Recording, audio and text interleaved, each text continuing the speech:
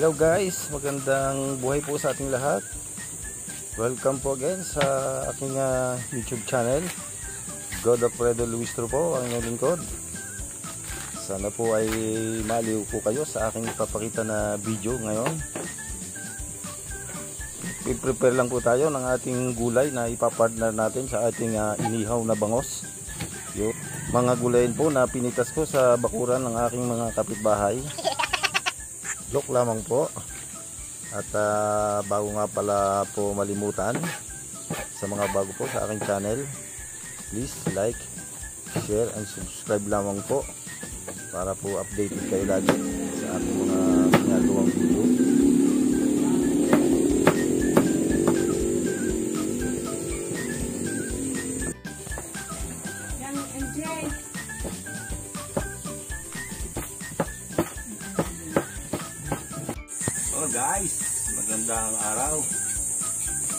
Magandang buhay po sa ating lahat.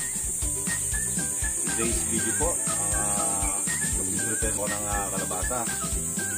Ito pong uh, puso ng saging at saka ng okra. Ito naman po yung ating uh, papaya.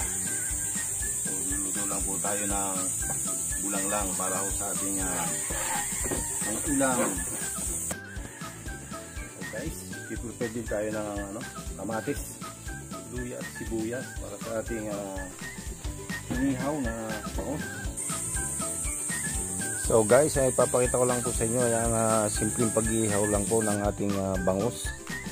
So paghahaluin na lang po natin itong uh, sibuyas, uh, luya at saka po itong ating uh, kamatis na siya pong ilalagay natin sa loob ng ating biniyak na bangus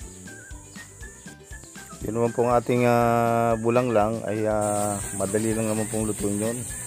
So marami na pong nakalam nun. Napakasimpleng lutuin lang ng ating uh, bulang lang so ito naman pong inihaw na bangos napaka simple din lang. Yung uh, iihaw lang natin nang wala siyang uh, ilpalaman sa loob. So ito ilalagyan natin ng uh, sibuyas with uh, ginger and tomato para mas maging malasa siya. So sa atin po mga kaprobinsya alam na lang po ang ganitong uh, diskarte sa ating uh, pangaraw-araw na buhay. Kahit po tayo basta po tayo mayroong mga konting tinanim-tanim sa paligid. So wala nang problema sa atin ang ating uh, mga gagawing gulay dito sa gagawin nating inihaw na bangos gagamit tayo ng uh, panali na dahon ng tanglad. So para sige maging uh, mabango. Ready na ang ating pang ihaw mama pawak. Ihaw na.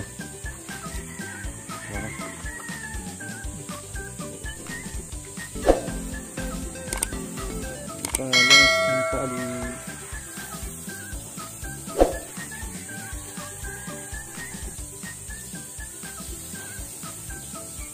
Ang bawal. Ay, alis na. Maganda pinagtali yun. Tanglad. Tanglad. Pinalihan ng tanglad. Wala may tali eh. Tap mo lang ha. Hindi tayo nakapag-video ng ayos at uh, mayroong nagpa-power uh, so sa kapitbahay. So, kaya yan. Pinalihan lang na lang natin ng uh, dahon ng tanglad. Yan guys. Gutom na si Mrs. Hindi pa luto ang aking uh, inihaw na bangos.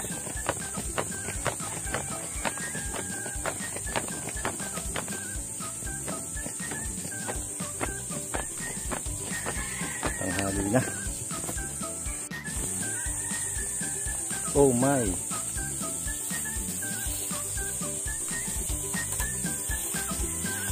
Wow, sunog. Ng balat.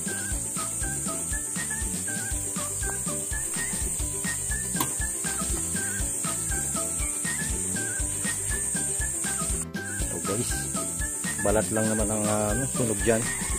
Dahil hindi ko na yan nalisan ng kaliskis. Lakas ng apoy. Bawasan natin ibang apoy.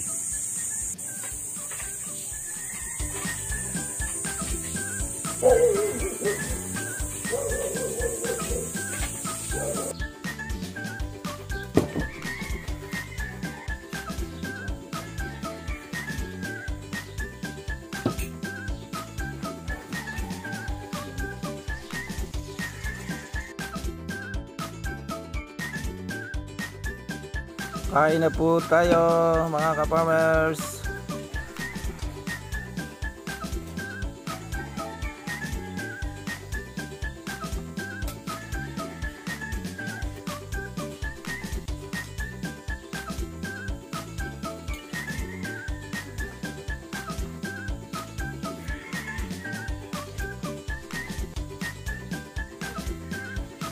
May may ganun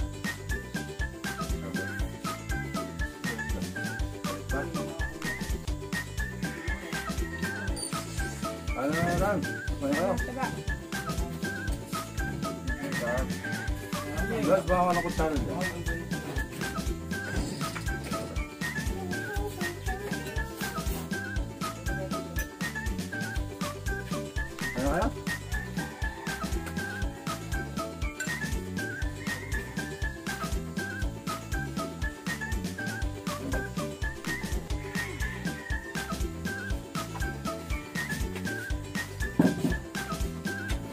Ay,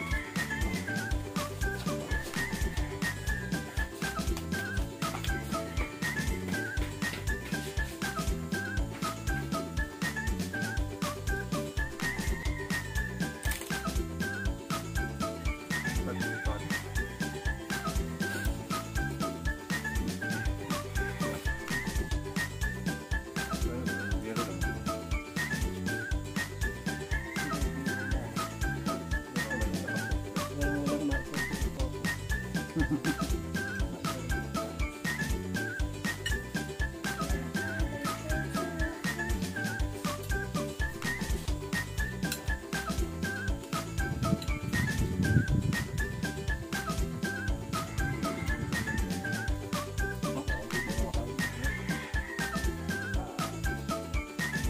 nga ako ngayon?